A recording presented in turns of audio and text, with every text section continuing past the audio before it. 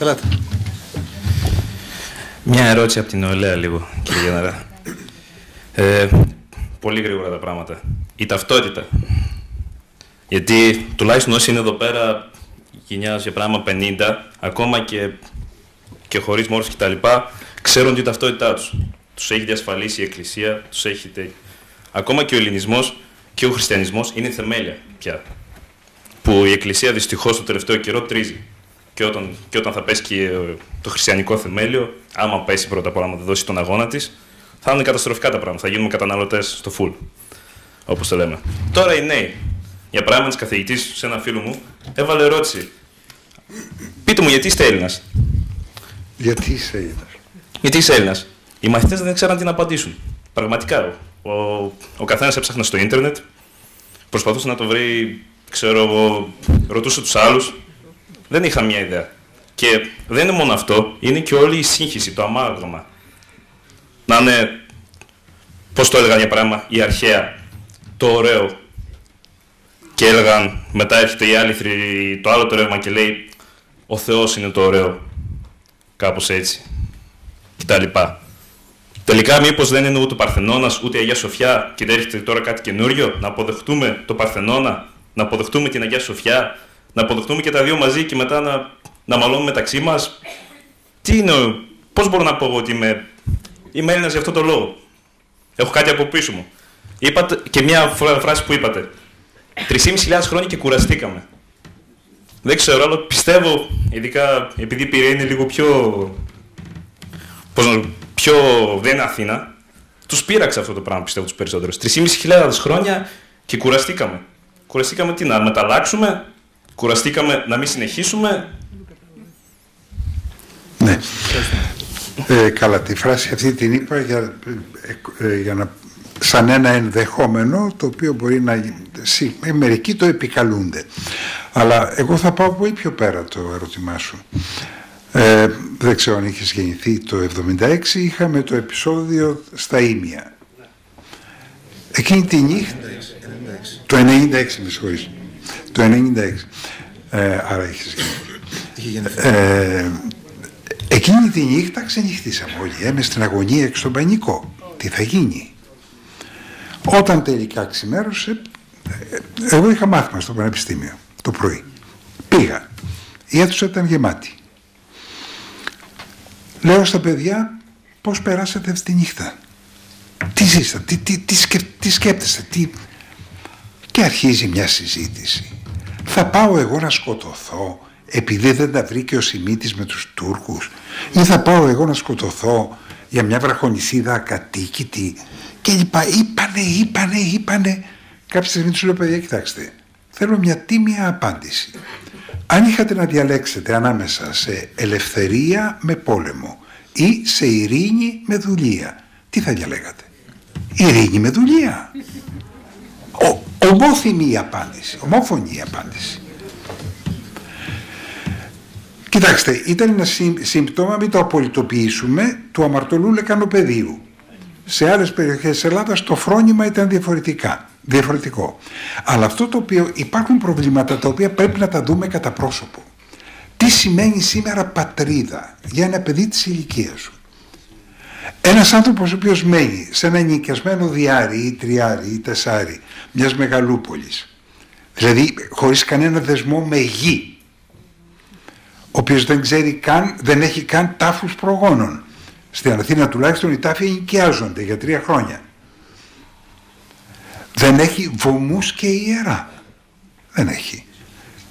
Εάν η, η, πνευματική του παράδοση είναι το κυριακάτικο κήρυγμα που ακούει στην τηλεόραση, ο Θεός να φυλάει. Το βάζει στα πόδια. Αυτό το παιδί να πολεμήσει γιατί; Θα αντιδράσει όπως αντέδρασαν οι, οι, οι Κύπροι. Πήγαν οι Τούρκοι, μπήκαν στα ιδιωτικά τους αυτοκίνητα οι Κύπροι και φύγανε. Και πήγαν πιο πέρα και φτιάξαν τη ζωή τους. Αυτό δεν το λέω για να υποστηρίξω κανένα, απλώς για να πω ότι υπάρχει πρόβλημα πατρίδας. Εάν η πατρίδα είναι κάτι άλλο σήμερα και μπορεί να είναι κάτι άλλο, αυτό το κάτι άλλο θα, θα στηριχτεί μόνο στο αν έχεις απάντηση έχω τον πειρασμό και τον έχω πει πολλές φορές, αλλά δεν έχω την εξουσία να την επιβάλλω. Ότι θα ήθελα να βάλω μια έκθεση ιδεών στους 300 βουλευτές της Βουλής των Ελλήνων να μου απαντήσουν σε ένα ερώτημα. Γιατί ο Παρθενώνας είναι, έργο, είναι σημαντικότερο μνημείο από τον πύργο του Άιφελ. Έχουμε την παιδεία να απαντήσουμε σε αυτό το στοιχειώδες. Και δεν λέω καν την Αγία Σοφιά ή τον Παρθενώνα. Μόνο σε κάτι τέτοιες απαντήσεις μπορεί να θεμελιωθεί απάντηση στο αν είναι προσόν ή μειονέκτημα να είσαι Έλληνας σήμερα. Όλα τα δεδομένα πείθουν ότι είναι φοβερό μειονέκτημα. Χλεβασμός διεθνής, κοροϊδία, εμπεγμός. Έχουμε χάσει ομολογημένα από τον Πρωθυπουργό την εθνική κυριαρχία. Η χώρα επιτροπεύεται. Η εξουσία δεν μπορεί να πάρει αποφάσεις. Τώρα θα βάλουν επίτροπο και σε κάθε τράπεζα. Να ελέγχει που δίνει τα, τα δάνεια η κάθε τράπεζα. Πρόκειται για ολοκληρωτική πλέον απώλεια κυριαρχίας. Αυτά δεν αντιμετωπίζονται με τερτύπια. Εδώ που έφτασε στην καταστροφή που έφτασε η χώρα δεν αντιμετωπίζονται με βελτιώσεις ή με ε, ε, ε, κάποια έξυπνα ευφυή μέτρα. Αντιμετωπίζονται μόνο ως ευκαιρία ότι κάτι τέλειωσε και χτίζω κάτι καινούριο. Εγώ μέχρι εκεί μπορώ να φτάσω. Παραπέρα δεν μπορώ. Κύριε Γιαναρά, επιτρέψτε μου στο ερώτημα του νερού να θυμίσω ότι είχε πει ο Νίξον παλαιότερα για τον ελληνικό λαό ότι είναι δύσκολο κυβέρνητος και πρέπει να το πλήξουμε στις... Ε, ο Κίσικερ, ο Κίσικερ, ο Κίσικερ. Στις αρχές του, στις πολιτιστικές του αρχές, στη θρησκεία και στην, ε, και στην ιστορία του. Και επειδή έγινε κακή χρήση της ε, οικογένειας, της πατρίδος και της θρησκείας από την ε, δικτατορία, βλέπουμε ότι φτάσαμε σε σημείο να ντρεπόμαστε, να πούμε ότι είμαστε περήφανοι για την πατρίδα μας, για τη θρησκεία μας και για την οικογένεια. Ε, αξίες οι οποίες συνειδητά πλήττονται.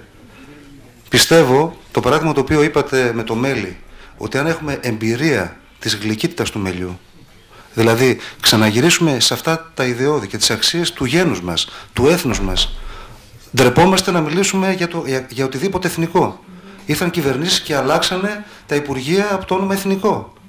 Δηλαδή πρέπει να ξαναγυρίσουμε σε αυτές τις αρχές, να έχουμε την βίωμα δικό μας και πλέον δεν μπορεί κανείς να μας πει ότι είναι πικρό. Θα είμαστε περήφανοι παλικάρι μου ότι είμαστε Έλληνες και έχουμε έναν πολιτισμό ε, χιλιάδων, ε, τριών, τεσσάρων χιλιάδων χρονών και πρέπει να είμαστε περήφανοι γι' αυτό. Η δυσκολία είναι, συγχωρέστε με, ότι δεν πρόκειται για αξίες. Αυτή η λέξη πραγματικά με κάνει να βγάζω σπηριά. Τι θα πει αξίες και ποιος τις ορίζει; Δεν πρόκειται για, μια, για ιδεολογία. Μέχρι σήμερα ήμουν μαρξιστής και τώρα εγκαταλείπω το μαρξισμό και γίνομαι φρουιδιστής ή γίνομαι κάνω γιόγκι. Δεν πρόκειται για τέτοια πράγματα. Πρόκειται για τρόπο ζωής. 400 χρόνια κάτω από τον τουρκικό ζυγό οι άνθρωποι δεν είχαν αξίες. Δεν είχαν ιδεολογήματα, δεν είχαν πεπιθήσεις άναβε καντήλι στην εκκλησιά, στο σπίτι, ζυμωνόταν πρόσφορο, γινόταν αγιασμός. Πράξη. Όλα ήταν πράξη. Όλα ήταν τρόπος. Το γλέντι ήταν η προέκταση του Εσπερινού. Άρχισε πρώτος ο παπάς στο χορό και όλα λειτουργούσαν με, με άλλο τρόπο. Πώς, το πρόβλημα μας δεν είναι να ξαναγυρίσουμε σε εκείνο τον τρόπο. Δεν μπορούμε.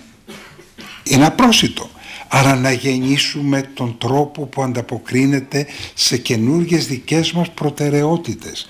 Ότι με ενδιαφέρει περισσότερο το να σας έχω φίλο, το να κοινωνούμε τη ζωή, από το να έχω ηλεκτρικό ψυγείο. Εάν με ενδιαφέρει περισσότερο το να μετέχω στα κοινά και να υπηρετώ τον Δήμο, περισσότερο ή αν με ενδιαφέρει να σωθεί η γλώσσα της λατρείας με στην εκκλησιά να σωθεί αυτή η γλώσσα αυτή η ποίηση. Πώς, πέστε σας παρακαλώ επιχειρήστε να μεταφράσετε στη, στη δημοτική χέρσον αβυσοτόκον παιδών ήλιος επεπόλευσε ποτέ. Αν χαθεί αυτή η ποίηση. Χάνομαι εγώ, δεν υπάρχω. Δεν έχει νόημα να, να, λέει, να λέει ταυτότητά μου ότι είμαι Έλληνας.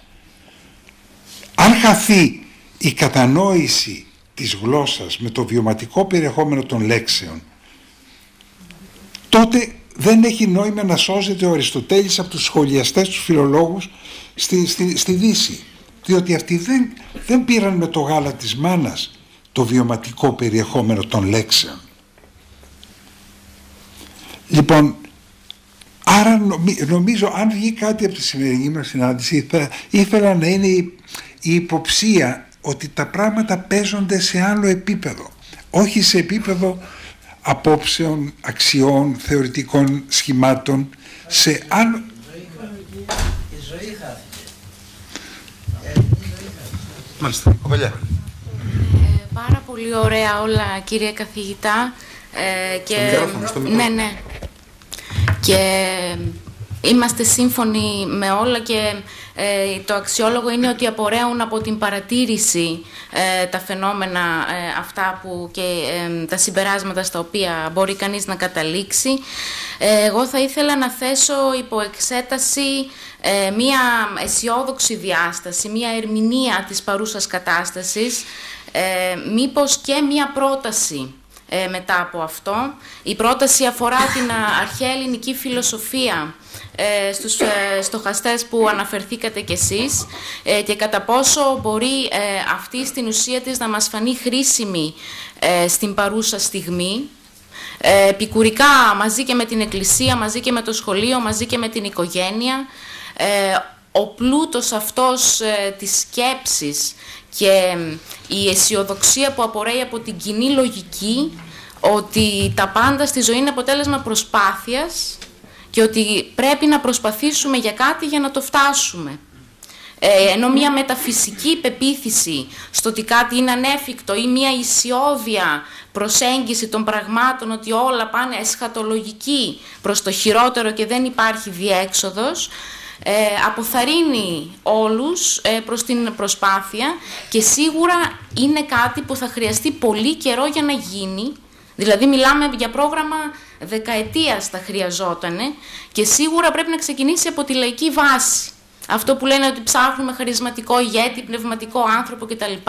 Πρέπει να γίνει πολλή δουλειά ε, σε επίπεδο της μικρές ηλικίες. Να κάνουμε τον καλό πολίτη δηλαδή. Ε, α, και η θετική ερμηνεία που ήθελα να, να θέσω υπό εξέταση και όλων εσάς και στη δική σας, ότι μήπως ε, ακόμη και το εθνικό μας χρέος ε, δείχνει ε, την αξία και την ικανότητα του λαού μας, γιατί σίγουρα περιγραφικά είναι αποτέλεσμα ευρηματικότητας και θάρρους. Γιατί και αυτό σημαίνει ότι έχουμε αξία και ικανότητα, γιατί και η παράβαση του νόμου θέλει τόλμη και θέλει να ξέρεις και πώς. Και το θέμα είναι εφόσον έχουμε αυτό το αξιόλογο κεφάλαιο μέχρι σήμερα, από την τρία μέχρι σήμερα, γιατί και την τρία δεν την πήραμε ούτε με την σωματική ισχύ, ούτε με την εντιμότητα, αν αυτό μπορούμε να το διαθέσουμε με κάποιον πιο χρήσιμο τρόπο για τους επόμενους. Αυτό. Ε, με προκαλείς τώρα να σου πω αυτό που ζητώ εγώ δεν γίνεται με πρέπει. Αυτό που σου ζητώ εγώ από σένα μπορώ να σου ζητήσω πρέπει να ερωτευτείς αυτόν. Γίνεται αυτό. Δεν χωράει. Ή ερωτεύεσαι ή δεν ερωτεύεσαι. Το να είσαι Έλληνας είναι ένας έρωτας ή ερωτεύεσαι αυτή την παράδοση, αυτή, της, αυτή την πείρα, αυτή την θέαση της ζωής ή αλλιώς δεν χωράει πρέπει. Αλλά Όταν ερωτευθείς τότε θα γεννήσεις τρόπους για να φτιάξεις άλλα σχολιά, να φτιάξεις άλλη λατρεία, ε, να, να ξαναζωντανέψεις τη λατρεία, να μιλήσεις άλλο λόγο ε, στην πολιτική κλπ. Αλλά αυτό θα γεννηθεί αφού πρώτα έχεις ερωτευτεί. Απλά πρέπει, συμφωνώ, ε. απλά πρέπει να βοηθηθεί γιατί δεν είναι πως και οι νέοι είναι στην τύχη. Υπάρχουν ε, ε όχι κατευθυνόμενες ιδεολογίες που τους στρέφουν προς τον, ε, την, πράγματα που δεν, δεν, είναι, δεν είναι τυχαία. Στην απαξίωση του ανθρώπου, όχι καν του Έλληνα ή του... Ότι ο άνθρωπος είναι κακός, ο άνθρωπος δεν αξίζει, Όλα είναι για το χρήμα και τα λοιπά. Ευχαριστούμε πολύ. Ελάτε, ελάτε Σύντομη ερώτηση. Νιώθω ότι ο ελληνισμός ε, διώκεται οργανωμένα. Για ποιο λόγο διώκεται; Επόμενη διάλεξη. Όχι, κοιτάξτε, ε, το κρίσιμο στο ερώτημά σας είναι αυτό το ρήμα, το νιώθω. Ε, το οποίο μπορεί να είναι μια διέστηση, μια υποψία, ναι, αλλά δυστυχώς δεν μπορεί να αποδειχθεί. Και εγώ πραγματικά πολλές φορές έχω την αίσθηση ότι κάτι διαιωνίζεται από μία αντιπαλότητα που υπήρξε. Συγγνώμη. Το πέριξε ρεπούς. Ε, μην της δίνουμε τόση σημασία, δεν τα καταφέρει και τόσο καλά. Αλλά βλέπω, βλέπω ότι υπάρχει ένα είδος αντιπαλότητας η οποία ε, σαν να ξεσπάει κάποια στιγμή ανεξέλεγκτη λογικά. Ας πούμε τέτοια χλέβη από τον γερμανικό τύπο ή από τον διεθνή τύπο τον τελευταίο καιρό, τον τελευταίο χρόνο για την Ελλάδα ή τέτοιο ε, είναι λίγο περίεργο, δεν εξηγείται. Όπως ίσως να είναι κάτι ευρύτερο. Μου έμεινε πραγματικά ένιγμα το μένος εναντίον της Σερβίας και το μακέλεμα αυτού του λαού. Ο βομβαρδισμός επειδή δεν τους άρεσε ο ηγέτης του.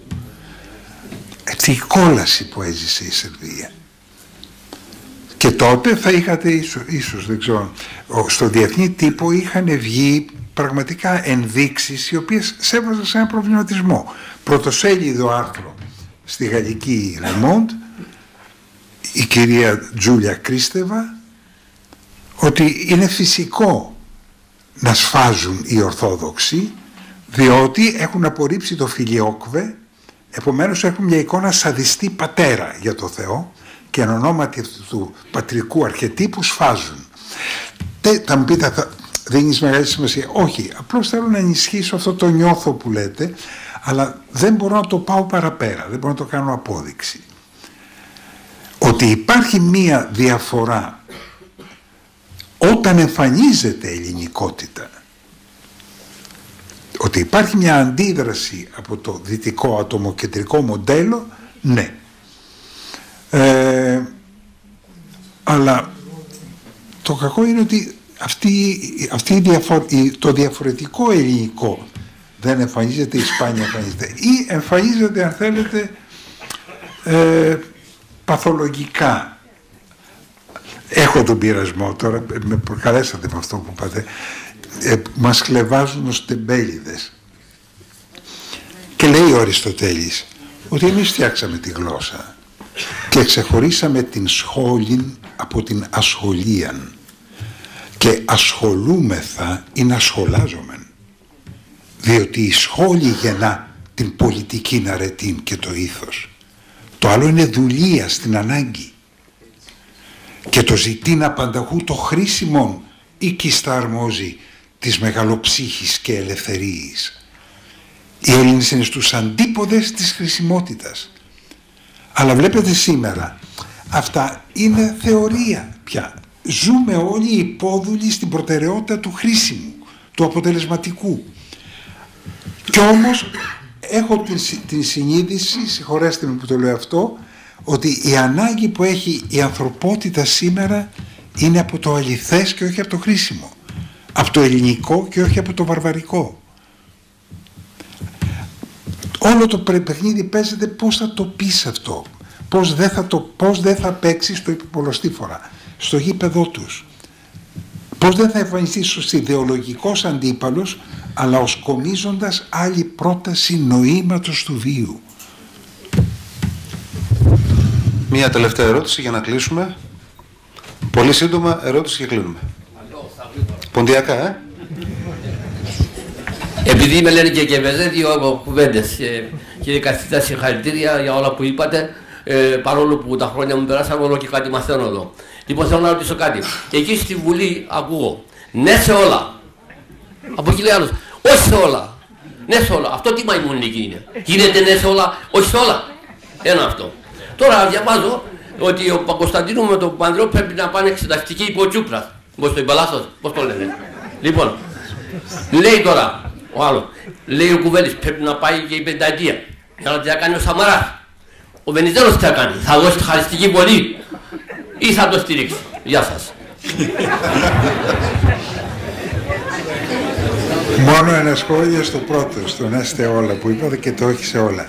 Κοιτάξτε, τι έτη χρίαν έχουμε μαρτύρων, τι μεγαλύτερη απόδειξη θέλουμε. Ο αρχηγός του κόμματος λέει σε αυτό ειδικά το θέμα θα ψηφίσετε κατά συνείδηση. Στο τάδε θέμα. Που σημαίνει ότι όλες τις άλλες φορές δεν σας επιτρέπω να ψηφίσετε κατά συνείδηση. σας επιβάλλω και σας υποβάλλω εγώ τι θα ψηφίσετε. Και τίθεται θέμα κομματικής πειθαρχίας. Δηλαδή αυτό το οποίο ορίζει έστω αυτή η, η πλασματική δημοκρατία, η αντιπροσωπευτική, ορίζει ως ρόλο και, και λειτουργήμα του βουλευτή να εκπροσωπεί το λαό, να είναι αντιπροσωπευτική η δημοκρατία. Καταργείται. Και θα μπορούσαν, το σημερινό σύστημα στην Ελλάδα θα μπορούσε να λειτουργεί χωρίς βουλευτές. Να υπάρχουν οι αρχηγοί των κομμάτων και ο καθένας θα έχει μερικά points. Δηλαδή, ο ένας έχει πόσους βουλευτές έχει σήμερα, έχει 100. Θα έχει 100 points. Ο άλλος θα έχει 80. Ο άλλος 70 και θα παίζουν οι τέσσερις, τρεις το παιχνίδι. Καλά η μαγιά Αν και πιο οικονομικό. Λοιπόν, σας ευχαριστούμε πολύ κύριε Γιαναρά. Κυρίες και κύριοι, σας περιμένουμε το επόμενο Σάββατο εκτάκτος και όχι την Δευτέρα. Καλό σας βράδυ.